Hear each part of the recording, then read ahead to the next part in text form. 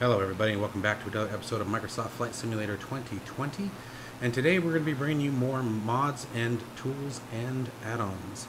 Um, I really hope that you guys are enjoying these series um, and if you are enjoying the content from this channel please consider hitting that like and subscribe button as it really does help me out quite a lot.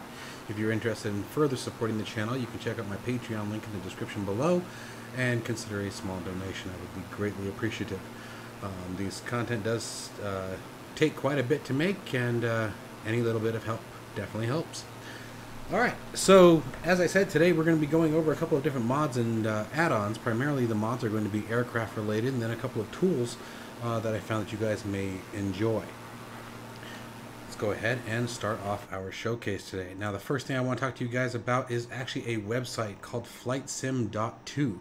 Um, I have not seen this one before. I actually stumbled across it just the other day by accident, and it's a very handy uh, website. And unfortunately, I think it's actually a little bit better upkept than the um, uh, Microsoft addons.org that we were seeing before. The add-ons seem to be much more frequent as well as much more up to date.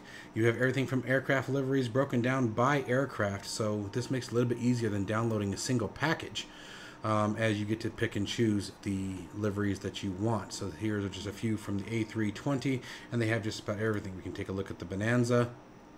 You can see here there's quite a bit to choose from to sort of mix up the sim and change up the scenery a little bit for you guys. Speaking of the DA62, this will be one of our add-ons that we'll discuss today, but again, you have cockpit interiors. Now with the cockpit interiors, you want to be cautious as if you are using mods like the G1000, G3000 improvement modifications, they may not be compatible with that. Um, as both of them I do believe have textures involved on their own. However, if you're not using those uh, updates, which I highly recommend you do, and we'll be talking about those in a minute um, at the end of the video, um, if you're not using those, you guys can um, definitely use the cockpit mods. And it's not to say that none of them are compatible, just be cautious and understand what the file structure. By the way, if there are momentary pauses in the video, chances are I am hacking up a lung. Yes, my lovely daughter brought home yet another little gift for the family from school, and we are all sitting here battling a nice cold once again.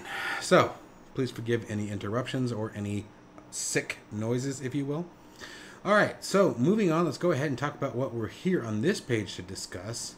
Let me see if I can track it down real quick. I'm pretty sure that I saved a link directly to it. Yep, I did.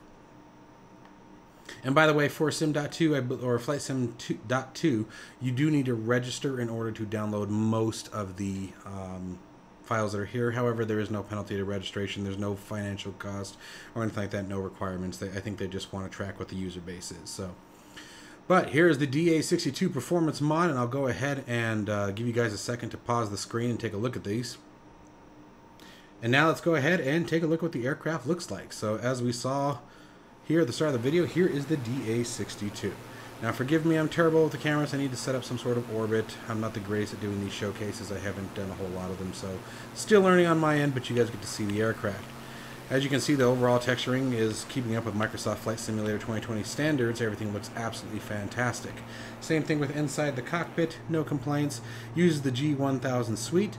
Again, there is a mod or a yeah, well, let's call it performance modification for the G1000 and G3000 suites. Um, links will be in the description below. I have discussed these before, but they actually increase the uh, performance and features that are available in the G1000 and 3000 avionics suites.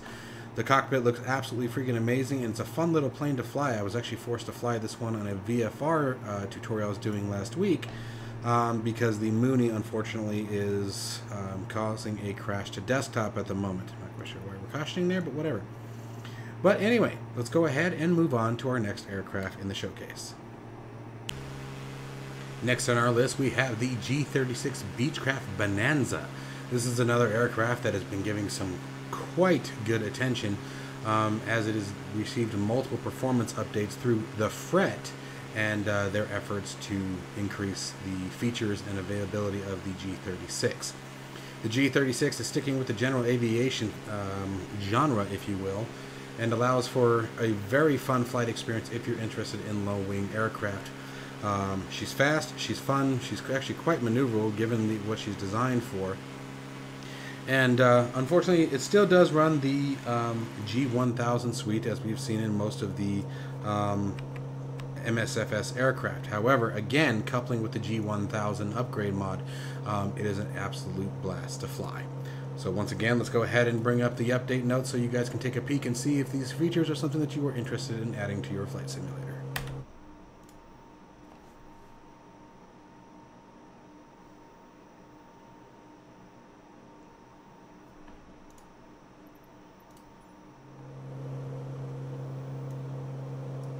And to give you once again a quick tour of the outside, I'm going to go ahead and just use the showcase for this, or the external for this one. You guys can see the texturing, once again, reflections and everything keeps very much up to par with much of the other um, aircraft in the simulator. Now, again, one of the other cool things about this one is the, um, included in the latest version, is a lighting update. So again, it's not just the systems, but we're also getting some of the other options as well. You can also find links directly below here to the G1000 update um, that I was just mentioning by working title. Alright guys, let's go ahead and move on to our next aircraft. Next on our list here, stepping away from general aviation into private charter, we have the Cessna Citation CJ4. This is one that has been seen in a couple of my videos already. However, I felt it was uh, necessary to give it some love and attention here on this one as well. This plane is an absolute joy to fly. It's a lot of fun. There's no auto throttle in this one, so it's hands-on all the way through. Um, each time that you make any kind of changes that requires a throttle adjustment. However, still comes with a fully functioning autopilot, ILS, and basic navigation instruments. The cockpit is extremely well laid out and very well detailed, and uh, a nice step away from the G1000 and 3000 suites. The MCD or FMS, however you want to call it, um, is also receiving updates um, as time moves forward, as well as the interactive checklists and basic operation of the aircraft. Again, texturing on par, not much to be said there. Um, I highly recommend this if this is something that you guys are interested in, in stepping away from the general aviation, but maybe not quite wanting to move up to commercial aircraft. All right and I'll go ahead and bring up the patch notes for you guys so you can see exactly what the up, uh, update currently brings.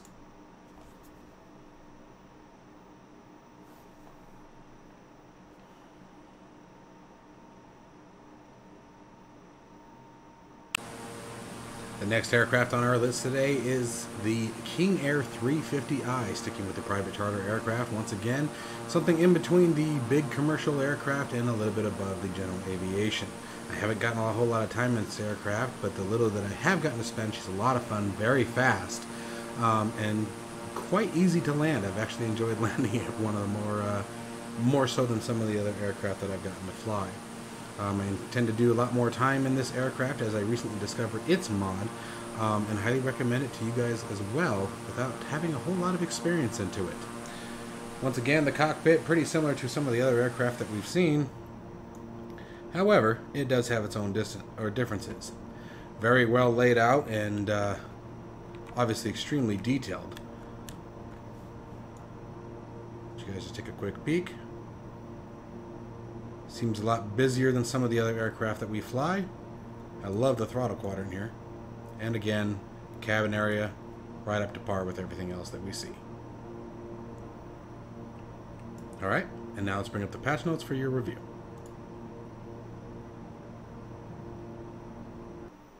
And finally on our list today is another little tool that I just recently discovered called Little Nav Map.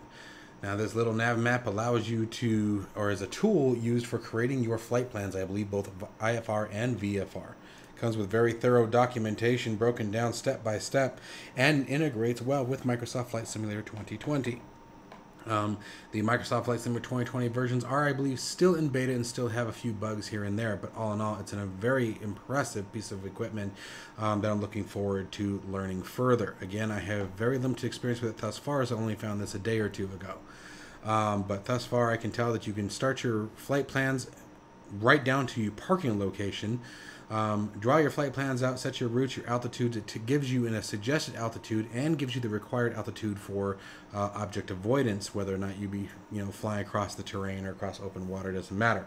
Uh, if there's a mountain at 8,000 feet, it sets your altitude up about 10,000 feet to make sure that you can maintain your clearance. Um, you can do custom waypoint names that also do transpose into the sim once imported. The only ones that get affected, I believe, are top of descent and top of climb. Uh, they remain obviously named as usual. Um, but I highly recommend you guys check this out, especially if you're into VFR flight planning. One of the things that I have not yet gotten to co- complete, but have seen that you can do, is create air, aircraft uh, performance charts. Basically, you select an aircraft within NavMap, and you can make sure that the performance uh, numbers match what the real aircraft does, and then it will help you calibrate things like required fuel, airspeed, cruise, etc. Help you with your weights and balances. All right, guys, that's going to wrap it up for today's video, folks. I hope that you guys are continuing to enjoy these. Again, if you guys are liking this content, please hit that like and subscribe button. It really does help me out a lot. Um, every little bit goes a long way, if you get what I mean. All right, guys, I hope you all stay safe, stay healthy, and I will see you guys in the next one.